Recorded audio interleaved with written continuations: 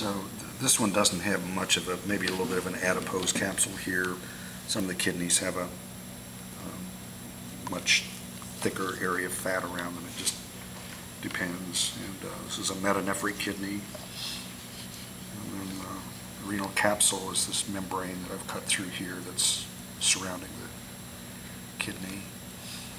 And the- the hilus is just the indented inner part of the kidney here where the blood vessels and the ureter come into it. Cut down through the middle. Um, The outer part is the cortex, the middle part is the medulla. Um, A little area there at the end of the medulla, right in the middle is the papilla. So the urine is going to go into that papilla. And then it goes directly into the renal pelvis, which is the whiteish, white tissue right there, which is simply the expanded end of the ureter as you get up into the kidney.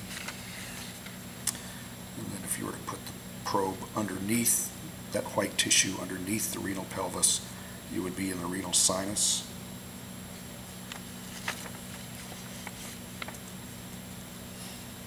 And then, you know, urine just goes down the, the ureter here, down to the bladder and out.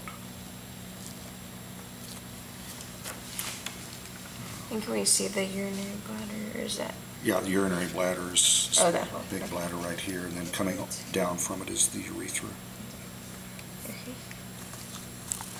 Vertex, Down here, and the vertex is, is up here. is there any like difference besides it just being in different?